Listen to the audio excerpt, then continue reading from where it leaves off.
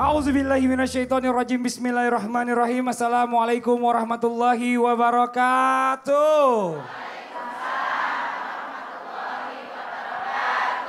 Jamaah Oh jamaah. Alhamdulillah. Alhamdulillah, alhamdulillahirrabbilalamin Assalatu wassalamu ala asrafil anbiya mursalin Wa ala alihi wa sahbihi ajma'in amma ba'du Senang banget hari ini kita ketemu lagi di Islam itu Indah Gimana kabarnya semuanya sehat? Alhamdulillah Ini saya mau tanya nih sama bapak sama ibu-ibu Bu, pak Lebih sering mana nih kalau ketemu orang Mikirin jelek atau mikirin baiknya? Jelek, tuh bapak aja bilang jelek ya. Kalau ketemu orang ini mikirin jeleknya aja. Baiknya enggak ya pak ya? Kadang-kadang jelek itu langsung terbesit di otak kita nih. Jadi yang yang baiknya belakangan. Oh ternyata setelah kenal baru tahu kalau dia itu baik ya bu ya. Kadang-kadang kita tuh begitu tuh kalau ketemu orang tuh suka nggak sadar. Coba saya tanya ibu. Ibu kalau misalnya ke- nggak suka sama orang biasanya komentarnya dalam hatinya apa? Ya siapa ya? Coba nih ada ibu pengajian nih sama nih. Suaranya jelek sama teman ibu tapi suaranya kenceng banget. Nih, Ngomongnya nih, apa? nih, ah? Kenapa Ibu, waktu ditanya itu dia komen enggak gitu jawabannya. Terus Iya. Nah itulah orang seperti itu. Iya, kan iya, iya. giliran Iya, orang ngomong dia iya. komentarin. Enggak begitu jawabannya. Pas dikasih apa ya? Eh gimana itu? Ayo Masya Allah luar biasa. Nih kadang-kadang kita suka begitu tuh. Pikirannya negatif terus sama orang. Giliran Nih. orang ngomong dia Ah. ngomongin. Enggak begitu jauh. Pas dikasih enggak tahu makanya. Ayo makanya nih semuanya buat semua termasuk saya kita sama-sama belajar lebih banyak berpikir positif. Sesuai tema kita hari ini. Temanya adalah mikir positif. Yuk apa bu pak? Mikir, positif, yuk. Gini, Nah. mikir positif yuk. Iya coba coba sekali lagi. Satu dua tiga. Mikir positif yuk. Gini Ah. dulu, mikir positif yuk. Ah, udah, Gitu. kelamaan. Mikir positif yuk. Ini Masya Allah nih langsung aja ya. Kalau berbicara tentang positif thinking atau berpikir secara positif atau berpikir yang baik-baiknya. Langsung aja nih kita cari tahu bagaimana caranya. Yang pertama kita panggil Ustadz Cecep Maulana. Tepuk tangan dong Ustadz Cecep Maulana. Ustadz Cecep, mohon izin Ustadz Cecep. Ya baik Mas Fadli. Enggak, kita perlu tahu dulu berpikir positif atau berpikir baik. Seperti apa sih makna dari berpikir positif di dalam pandangan Islam Ustadz? Mohon izin silakan Ya, waktunya. terima kasih. Jamaah. Oh jamaah. Alhamdulillah. Apa pun masalah Anda, ingat Allah dan tetap cecep. Ceria-ceria.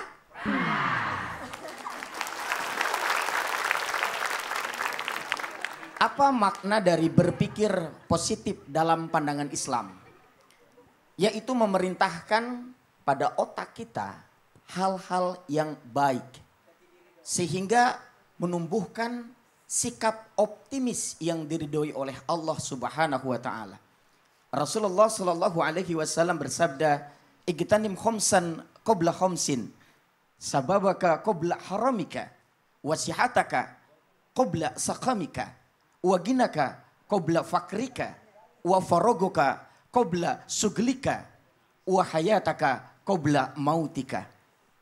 Perhatikan, manfaatkan lima perkara sebelum datang lima perkara. Apa itu? Masa mudamu sebelum datang masa tuamu. Masa sehatmu sebelum datang masa sakitmu. Masa kayamu sebelum datang miskinmu. Masa luangmu sebelum datang masa sibukmu. Masa hidupmu sebelum datang masa matimu. Abdurrahman bin Auf radhiyallahu an pernah mengatakan kalau aku angkat batu yang besar itu, aku akan temukan emas yang begitu banyak. Tahukah Abdurrahman bin Auf di situ ada emas? Enggak. Kenapa ngomong begitu? Supaya optimis ngangkat batu. Kalau dibilang, kalau aku angkat batu itu, aku pasti temukan lumpur yang hitam. Ngapain diangkat? Jadi optimis ini penting. Makanya yang harus kita miliki adalah M, A, S. Mentimun, anggur, dan sirsak.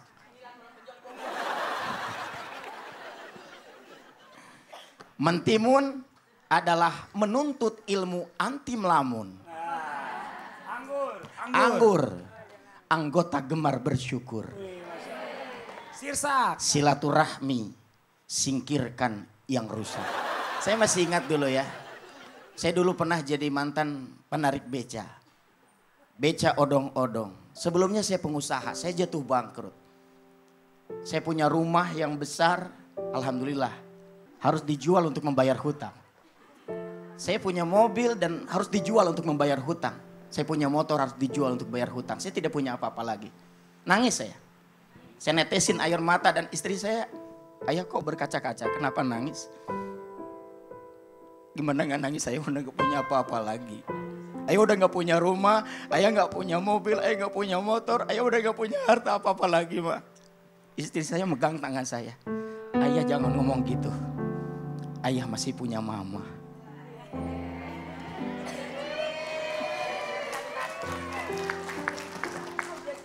Mama yakin ayah akan bangkit. Mama yakin ayah akan kembali seperti dulu. Ayah akan bangkit dari kejatuhan. Ayah harus semangat. Tetap ceria dan semangat, semangat, semangat cari nafkah yang halal.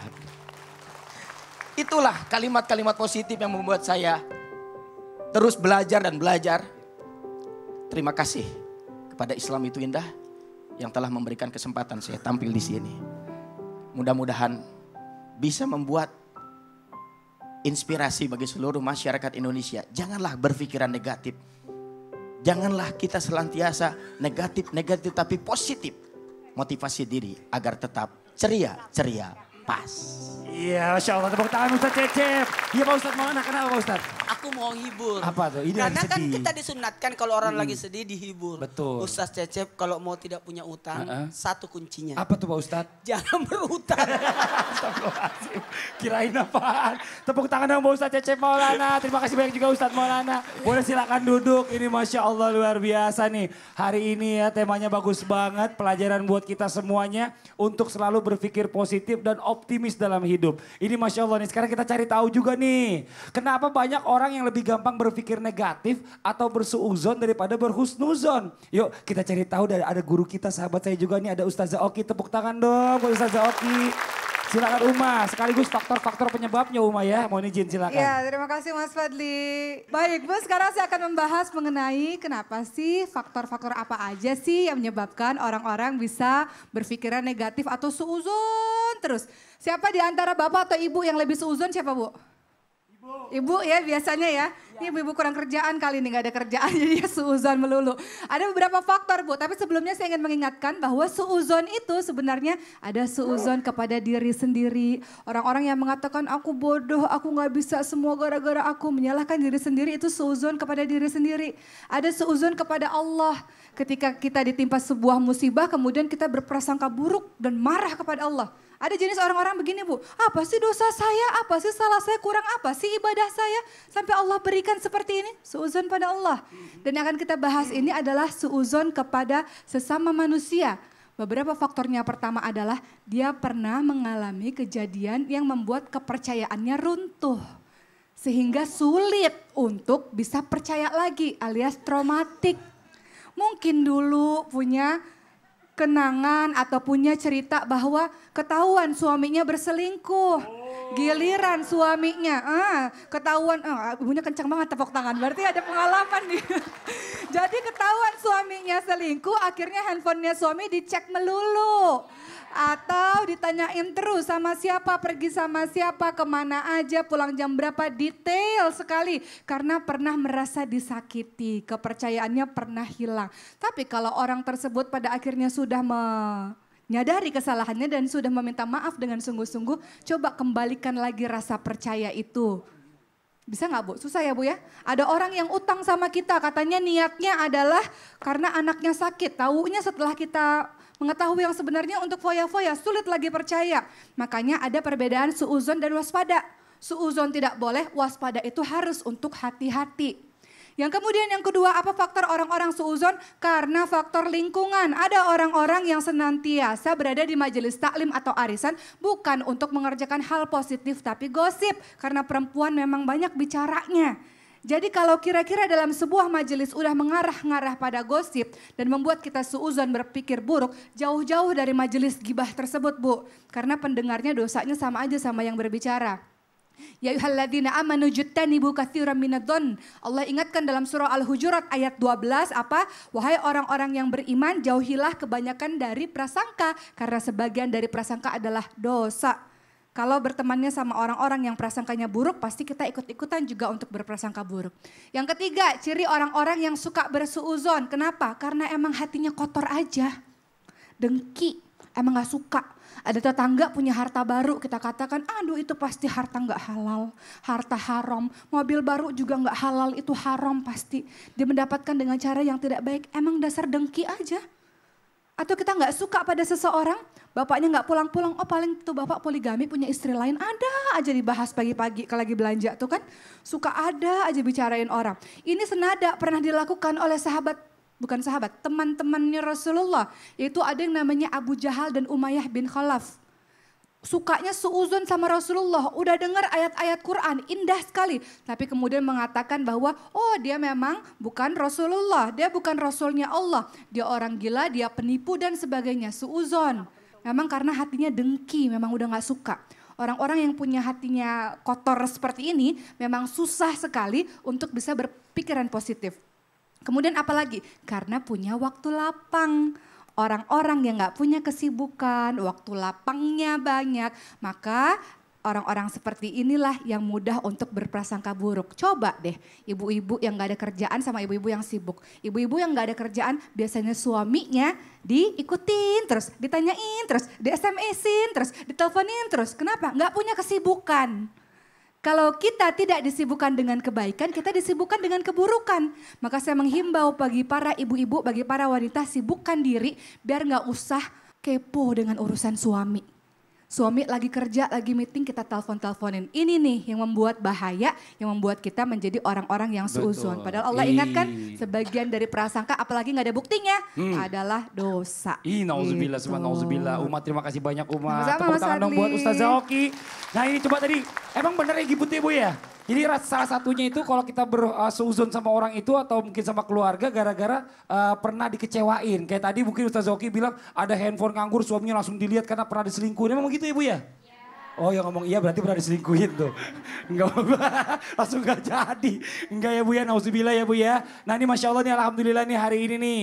Ada bintang tamu yang hadir di sini di sebelah kiri saya. Ada teman saya ada Ayu Pratiwi. Tepuk tangan dong buat Ayu Pratiwi. Ayu apa kabar sehat? Sehat, alhamdulillah. Eh yuk ngobrol-ngobrol bicara masalah tentang positive thinking atau negative thinking ya. Kalau bicara Ayu sendiri nih, kalau ngelihat orang itu lebih mikir negatifnya atau positifnya? Biasanya kalau orang baru eh, biasa eh, biasa datar-datar aja. Cuman kalau kadang-kadang kan ada orang yang emang tipe mukanya kelihatannya jutek gitu ya. Oh. Jadi kadang-kadang kayak aduh kayak orangnya sombong nih mau negor jadi Berarti takut. negatif duluan dong. Iya kadang-kadang gitu, tapi kadang-kadang juga kalau misalnya temen yang biasa udah biasa kita kenal ya positif-positif aja. Nah, tapi gini, ngerubah ngerubah mindset kita nih. Kadang-kadang kita kan juga nggak enak kan. Karena kan kalau ada istilah don't judge book by the cover kan. Jadi jangan lihat orang orang tuh dari luarnya aja. Tapi kita nggak tahu hatinya. Bagaimana caranya kita menghilangkan prasangka-prasangka yang jelek nih di dalam hati kita supaya kita tidak mengecewakan orang itu juga gitu loh. Iya biasanya sih pasti pikiran positifnya ya diada-adain aja. Biasanya kayak eh, kalau Ayu pribadi kan matanya juga minus sebenarnya nggak pakai kacamata. Oh, gitu. Dia pikir oh mungkin dia jutek gitu dia nggak lihat kali. Jadi Oh. positif oh mungkin dia minus matanya kayak aku. Jadi mungkin dia nggak ngelihat kita. Jadi dia eh, datar-datar aja mukanya. gitu. Oh iya benar-benar benar. Jadi kita berpikir bercermin kepada kita. Mungkin kadang-kadang orang juga mikir saya gitu. Padahal saya nggak ngelihat itu siapa. Iya. Dibilang sombong nggak negor gitu Iya, kali ya. Masya Allah. gitu. Tepuk tangan dong buat Ayu dong. Nah ini Masya Allah nih luar biasa. Sekarang kita cari tahu juga nih ya. Orang-orang ap- seperti apa sih ciri-cirinya orang yang selalu berpikiran positif atau berhusnuzon dalam pandangan Islam. Langsung kita minta penjelasannya dari guru kita juga di sebelah kanan saya ada Ustadz Maulana. Tepuk tangan Ustadz Maulana. Silakan Ustadz. Makasih banyak. Bismillahirrahmanirrahim. Assalamualaikum warahmatullahi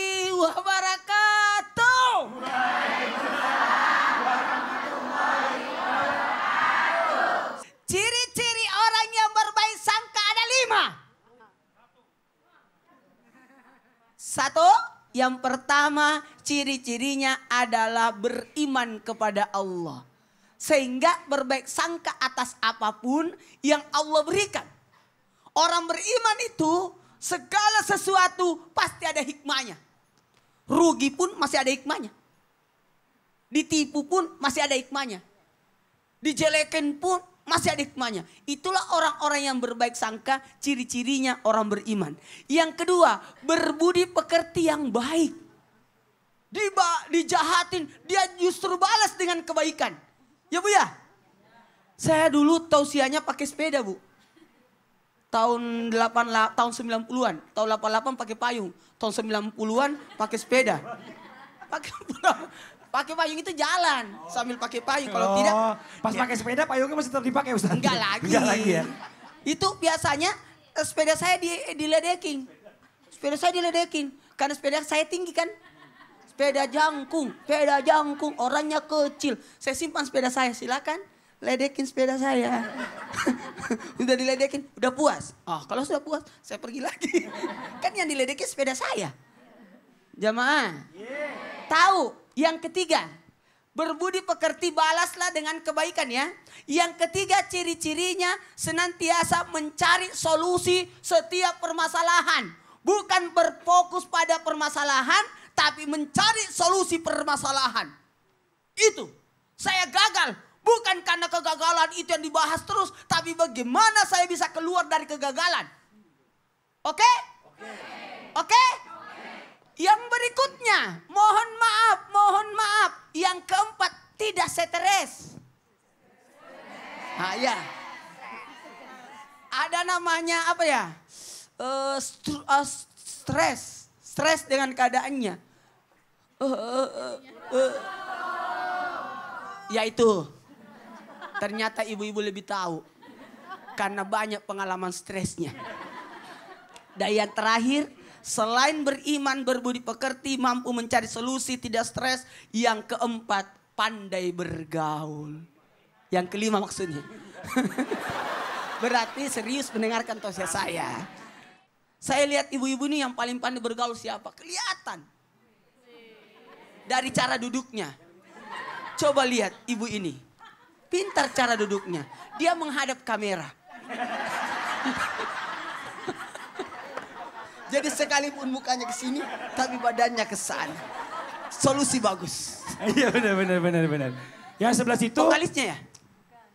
Vokalisnya. Oh, Oh. vokalisnya pas tengah-tengah. Ini Iya, kan Allah. tim-tim kasidah. tim kosidahan. Tim kosidah. Tapi ada juga Apa yang duduknya di pojok. Iya. Enak. Pas giliran kena angin merem. ya ibu ya, ya nggak apa-apa bu. Kenapa Namanya juga selalu pagi-pagi. mencari keburukan orang? Cari kebaikan orang. Iya. Ya, tidur itu Ibu-ibu baik. juga sih kenapa tidur? Pagi-pagi itu emang ngantuk ibu ya. Iya. Bisa tidur itu anugerah loh, nikmat sama Pak Iya, Ustadz. karena Masya banyak Allah. orang yang tidak dikasih anugerah Iya. tidur. Namanya insomnia. Insomnia. Itu, apa? Mak- insomnia. Itu, Ustaz, insom- makasih banyak Pak Ustadz. Tepuk Iya. tangan dong Pak Ustadz Maulana. Ini Masya Allah luar biasa nih. Ini buat jamaah yang ada di studio dan juga jamaah yang ada di rumah. Yang masih penasaran dengan tema kita hari ini. Di segmen berikutnya nanti kita akan mendengarkan juga nih ada kisah hikmah yang akan dibawakan oleh Ustadz Maulana. Pak Ustadz sedikit sinopsisnya boleh dong? Apa dong kisah hikmahnya? Kisah hikmah saya kali ini, mohon maaf. Apa kisah seorang guru nabi. Guru Nabi. Guru para nabi. Guru para nabi. Mau tahu siapa? Penasaran saya. Ah. Buat yang di rumah kita akan mempelajari kisah Nabi Khidir dengan Nabi Musa alaihissalam. Ih, Masya Allah, saya jadi penasaran nih. Nah, buat yang main di rumah nih jangan ke mana-mana. Nanti kita akan dengarkan lengkapnya setelah yang satu ini. Tapi sebelumnya, kita akan dengarkan terlebih, dahulu ada sebuah lagu yang akan dibawakan oleh Nas Indonesia. Silakan teman-teman Nas.